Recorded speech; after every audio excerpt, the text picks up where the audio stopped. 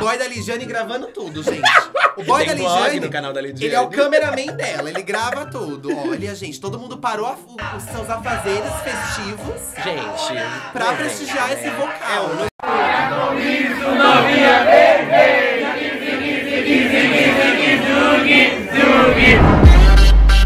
E eu vou trazendo pra vocês mais um TBT. Essa festa foi uma das mais legais que eu fui. E nesse dia foi um dia também muito decisivo, que a partir dessa festa é, rolou outras situações que eu vou comentar com vocês ao longo do vídeo.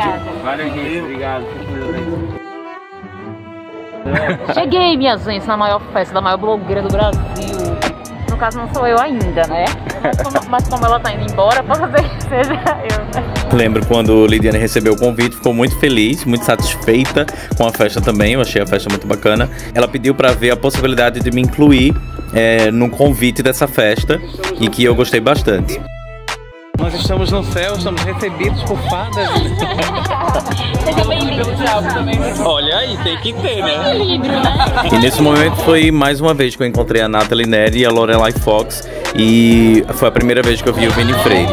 E nesse meio aí foi que a gente começou a conversar e a partir dessa conversa começou a ter algumas situações que eu vou contando pra vocês.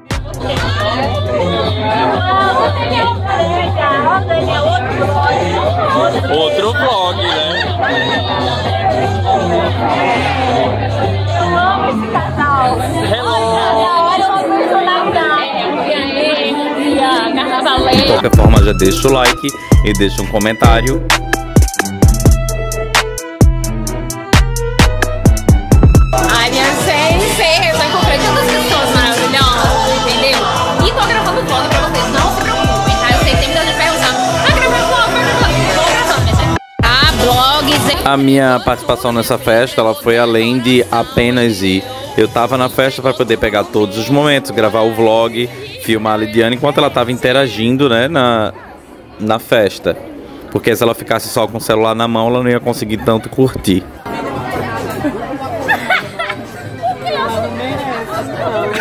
A gente pode sentar ali e comer, né? Gente, a Lidiane, olha só o looks da Lidiane. O boy também tá com looks. A Vini, a Vini veio mais gótica, é o enterro da blogueirinha. Simples. Olha o que a Lidiane trouxe, Um gente. minhocão, minha filha, um Um minhocão. minhocão de fino, eu nunca vi isso. É grande, grosso, gosmento. Por isso que eu trouxe. Eu acho que ela vai Gostoso, gostar. ela, ela precisa, não é questão de gostar. gostar. Vai amar, É, é. Ah, eu amei. É para ambos, entendeu? É pros dois, para. Mas não é aniversário dela, Lidiane. Troca pra gente, assim mesmo. É, é, tá tudo bem. Se ela não gostar, eu vou pra cá. É que você tá rica agora, né, Lidiane? Isso, né? Depois que você a corrida da eu tô milionária. A gente... Aí chegou Bielo, Bielo acrescentar pra vocês que eu conheci, é, frequentei a casa dela lá em outras festas que ela convidou e eu achei ela fantástica, uma pessoa maravilhosa, uma pessoa muito pra cima, uma pessoa muito receptiva, sabe receber muito bem as pessoas em casa e deixa também muito à vontade.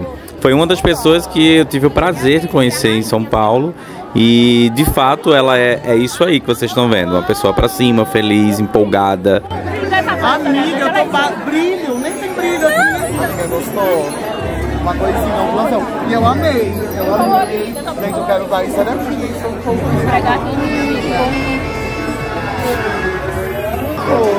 Hello! Eu tô no blog de Lidiane Bergman. Tá, meu blog, O que, que é isso? Socorro! Eu tava olhando na hora que a blogueirinha chegou, eu fiquei sem palavras quando eu vi a estrela chegando. Chegou agora. Muitas estrelas, muitas estrelas. É babado. Olha ela, Brasil! Muito que montadíssima, o quê? Belíssima. Gente, a blogueirinha chegou agora, olha. Muitos fãs. Maravilhosa, gente. A Mariah Carey brasileira. Olha esse look. Ela fingindo que tá legal, simpática. Bom, fala oi pra ela. namorado me chamou. Quem te chamou? Seu namorado, tá pior? Ah, ele não tá sabendo, então. Olha, já tá A brigando. vencedora, lógico, que tinha que estar aqui. Minhocão, amigo. Trouxe um presente. Minhocão pra você. Que isso? Você viu o minhocão? Você pagou? Você nem. Dogs é teu, amiga. Oi, mentira. tudo bem? É seu, é um minhocão, amigo. Um minhocão. É um minhocão doce, bicho. É um minhocão. Minhocão doce? É, pra você se acabar no fim, minha filha. Ai, que legal! É, é de comer, menina, é de comer. Pra mostrar pras meninas, os meninos também, ó. Nossa, calma, vou morrer. Não é favor não, você não ganhou. Ih! Ih! Deixa eu falar aqui com os meus convidados de verdade. Vai, chiquésima, chiquésima. E aí, Daniel? Tô amando, só estrelas aqui, eu sou. tô brilhando igual, ó.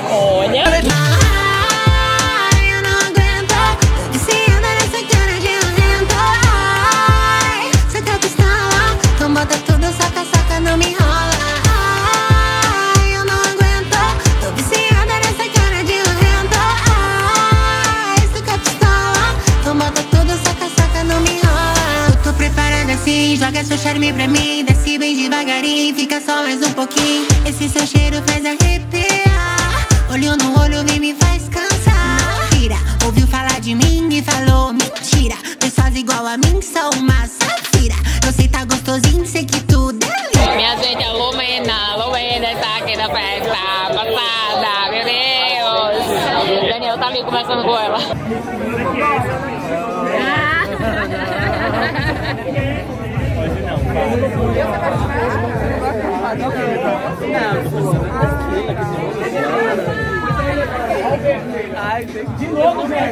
Eu estou amando que Daniel está alugando o Vire no nível. Tá alugando o ouvido da pobre da menina num nível que vocês não estão entendendo. Pode vir, minha vem, tem um quarto vago, pode vir, é sobre isso, é sobre isso. Tô amando, minha gente. Então, contar pra vocês que essa, é, esse momento aí, eu tava conversando com o Vini Freire sobre a vida em São Paulo, como funciona, como é que são as pessoas. E ela me, me deixou claro isso, é, superficialmente, claro, sem falar nomes, essas coisas. Ela falou que, no geral mesmo, as pessoas não são muito umas amigas das outras. É, Existem exceções, claro, que você consegue é, ter afinidade com outras pessoas, mas nem sempre funciona dessa maneira. Que as pessoas, de fato, trabalham muito com a conveniência, o que pode agregar, o que as pessoas é, conseguem um dos outros, troca de arrobas, esse tipo de coisa. Mas a amizade, a amizade é um lugar muito difícil. E eu tinha comentado que eu achava de fato é, isso meio estranho, porque eu achava que, que a conexão com as pessoas era mais fácil. Você consegue se, se conectar um pouco nas festas com as pessoas, porque todas estão sorrindo e todas estão felizes, mas na realidade é só ali mesmo. Tipo, você não leva muito pra vida, até porque precisa ter uma conexão de trabalho também. Ah, aí daí eu conversei bastante, porque vocês podem ver, ela estava ali completamente isolada, sozinha também. Então assim, ela não tinha muita gente para conversar, então meio que suportou o papo ali comigo, mas tava tudo de boa. Inclusive, eu achei uma pessoa maravilhosa. Quase que eu ia esquecendo de comentar com vocês que um momento que eu tava sozinho lá com o Danilo, eu falo Lorelai porque eu confundo às vezes o nome, mas Danilo, que é o intérprete da, da Lorelai, é, eu tava conversando com ela, com a Vini Freire, e eu tava contando pra Vini Freire sobre essa vinda da gente de São Paulo, eh, vindo da gente para São Paulo, e o Danilo virou pra mim, tocou na minha coxa e fez assim: Você e a Lidiane se amam de verdade? Nesse momento, eu levei um susto com essa pergunta e fiz, claro. Foi, no caso, a Lorelai que me perguntou se a gente se amava mesmo. Ela sentiu tão à vontade de me perguntar isso e eu fiquei muito estranhando, porque, por exemplo, na casa lá do, do Edu e do Fi, ele já tinha perguntado se eu ia trabalhar em São Paulo. Então eu juntei é, a pergunta se eu ia trabalhar em São Paulo. Eu passou pela minha cabeça, né, que a pergunta era relacionada assim: você vai ficar é, só às custas de Lidiane aqui mesmo? E o outro perguntando se eu amava mesmo ela, ficava na minha cabeça do tipo assim: só tá com ela pelo interesse. Então essas coisas que foram me dando muita muita dúvida na cabeça se as pessoas não gostavam de mim, estavam se afastando porque achavam isso de mim, entendeu? Esse aí é o Matheus lá do Big Brother, na realidade ele participou da Fazenda também, eu não sabia. E ele tava lá e eu achei bem bacana, porque eu acompanhava o Big Brother, eu gostava muito dele lá no Big Brother. E mais uma vez, Bielo lá, altos papos com Bielo, uma pessoa super bacana.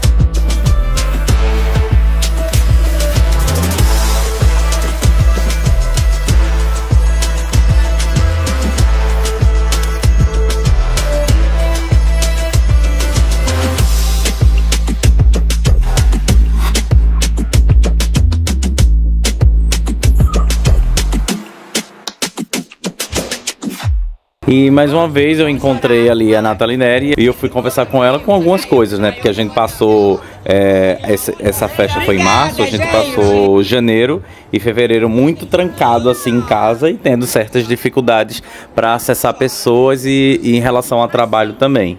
É, então eu, eu fui conversar com ela sobre, inclusive sobre as possibilidades de trabalhar também na Dia Estúdio, como é que eu, que eu poderia fazer, se eu botava currículo, se existia algum tipo de seleção. Então eu estava abrindo muito meu coração, contando todas as coisas que eu achava, ela estava me dando dicas, me dando conselhos e muito do que a gente conversou ali, ela levou para frente, levou para outras pessoas e depois é, as pessoas conversaram comigo sobre, sobre esse assunto. Eu fiquei um pouco chateado porque da forma como chegou para as outras pessoas, chegou com uma visão completamente diferente para outra pessoa, né? Por exemplo, se eu digo que eu quero comer bolo de chocolate, chega lá dizendo ele estava desejando o bolo de chocolate porque viu outra pessoa comendo. Aí você entende que a intenção é, pode ter sido um pouco diferente do que, do que eu imaginei. Mas o Brasil chora, né, gente? Tá chique. Tá linda você, linda! Linda demais, viu? Deixa eu entrar pra falar com todo mundo. Vai lá.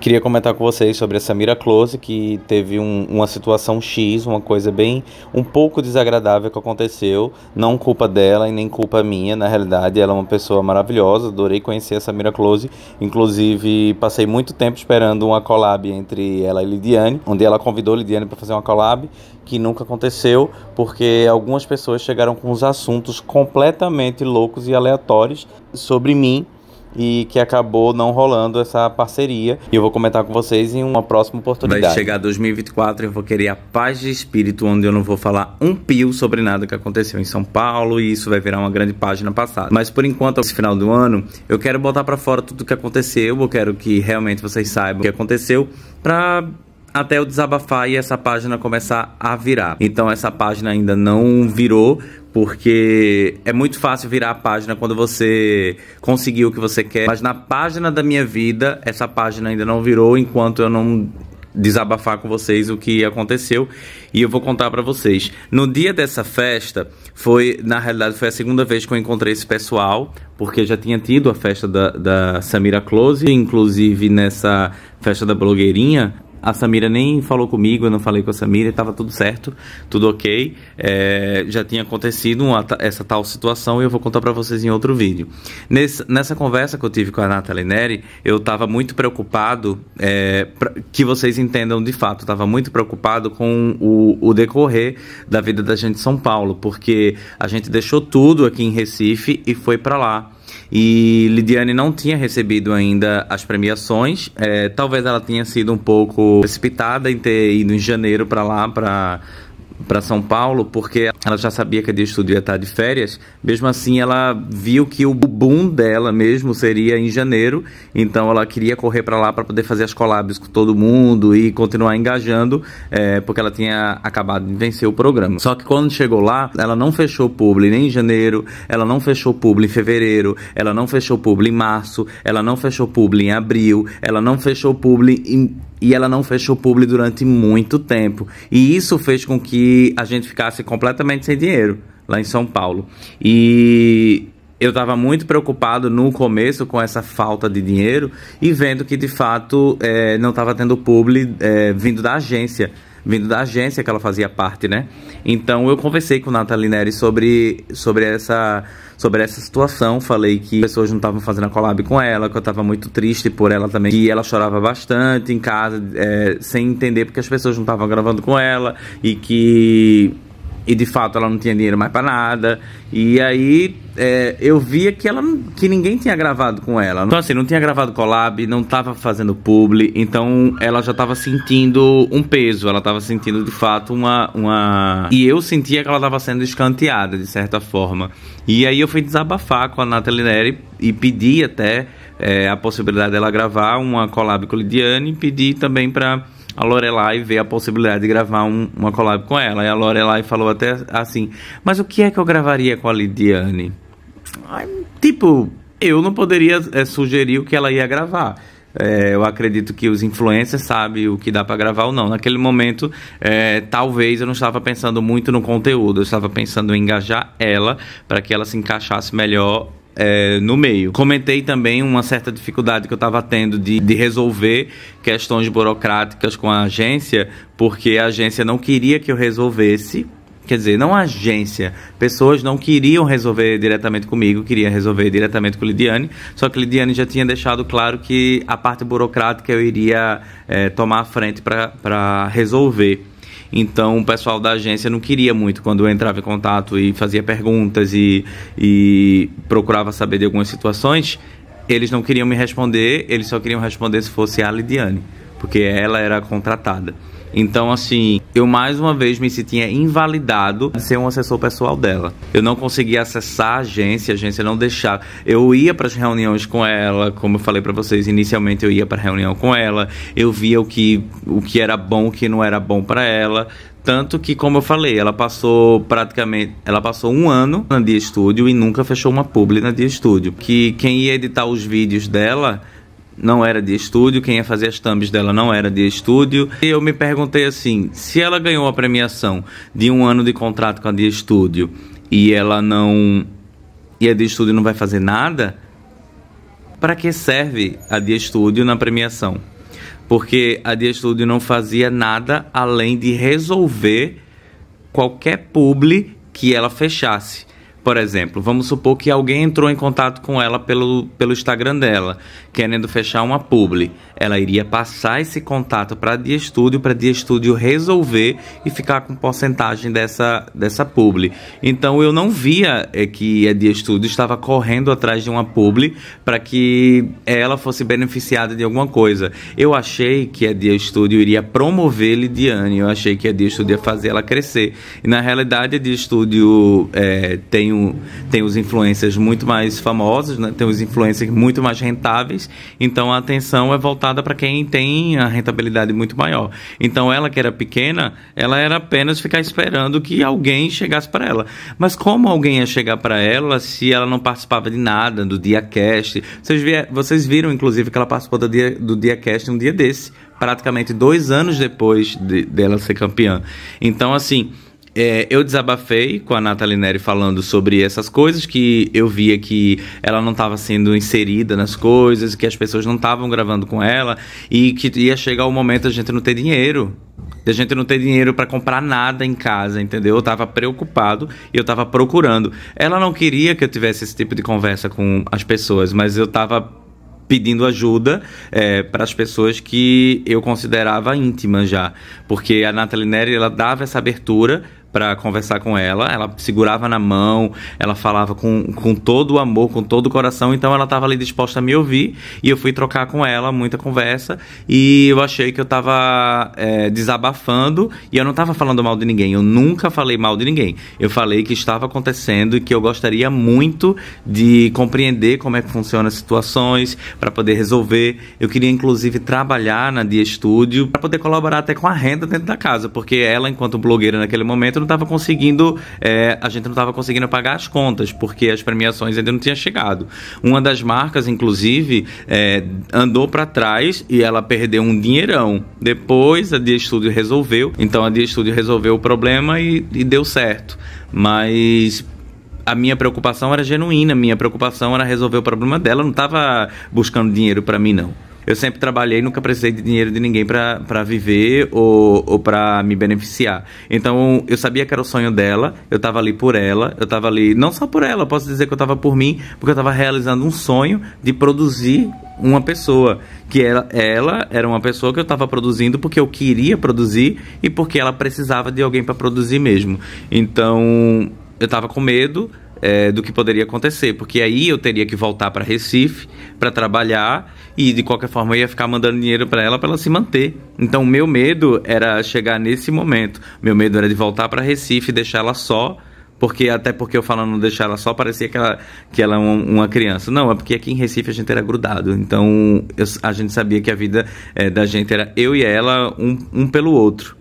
Então, ela ficando lá sozinha, eu não sabia se ela ia ser aceita da forma como a gente achou que ela ia ser assim que chegasse. Então, eu espero que vocês tenham entendido o vídeo. Eu não tô aqui para estar tá falando mal de ninguém, eu tô aqui para falar o que aconteceu na minha vida e envolve as pessoas, porque essas pessoas fizeram parte é, desse momento e eu só queria desabafar para vocês entender, vocês entenderem. No último vídeo é, que eu falei sobre isso, eu vi que teve muita gente contra mim, dizendo que eu tava tentando derrubar ela, minha gente, para com isso. Eu não tô querendo derrubar ninguém, não. Eu só tô querendo contar o que aconteceu sobre mim e eu gostaria que vocês compreendessem. Coloquem aí nos comentários, eu vou ler os comentários, mas adianto que quando for um comentário que eu já percebo que é só para detonar, eu nem leio. Eu até posso curtir, viu? Mas nem leio. Quando é um comentário mais é, assim que a pessoa tá querendo conversar sobre o assunto, até me dar uma opinião diferente, eu leio e respondo bacana. Mas se eu ver que é só um hate ali, eu ver que é só um comentário para me derrubar, eu nem leio, eu pulo quando eu vejo aquele textão e vejo no começo que a pessoa tá só me derrubando, eu pulo. Porque muitas vezes tem muito comentário que é comprado existe uma possibilidade das pessoas comprarem comentário para colocar o que elas querem e dar, é, por exemplo, botar lá, Daniel tá errado por isso, isso, aquilo, outro, e você vê muito comentário parecido, e, desconfie. Porque às vezes as pessoas estão comprando é, comentário para manipular. E não acho que é mania de perseguição, não, porque isso existe e eu sei exatamente pessoas que compram comentários e que pagam super chat para poder colocar nas lives das pessoas, entendeu? Tô falando de uma coisa que eu já sei que existe, pessoas que contaram para mim que outras pessoas fazem. Então isso daí não é uma coisa da minha cabeça, não. Tô falando para vocês com propriedade,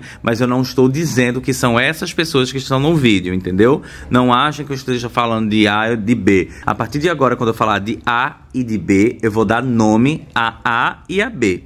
Não acho que eu vou ficar de indireto, de coisa parecida. Espero que tenham compreendido o vídeo e até o próximo vídeo. Que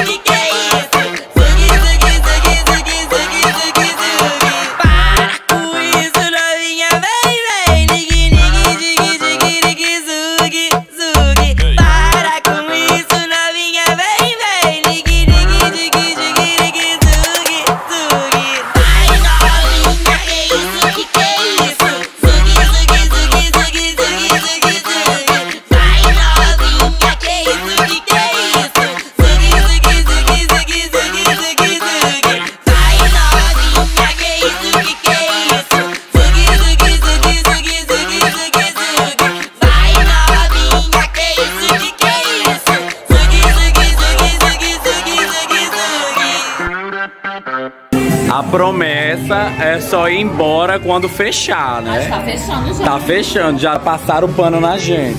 Mentira. Diga a verdade. Só falou o Elton pra gente. Faltou El Chan, pelo amor de Deus. Não sei, eu ainda Mas pedi. tocou logo no começo. Ó, foi? Eu tava lá fora. Os destruídos, acabados, entendeu? Olha o estado da pessoa. Meu joelho tá podre. Foi uma bagaceira, minha gente. Daniel, chama esse elevador, pelo amor de Deus. Me tira daqui. Aperta aí, amado, pra gente poder subir. Tô destruída.